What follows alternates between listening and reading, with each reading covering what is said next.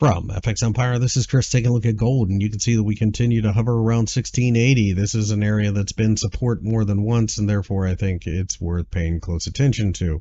If we do rally from here, the 50 day EMA would be your ceiling. The only way I see that happening is if for some reason Jerome Powell sounds more dovish than anticipated.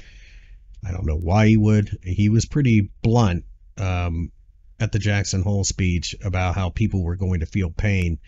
So if he remains that way, I anticipate any rally will get squashed. A breakdown below this hammer here from last week opens up a move down to 1500.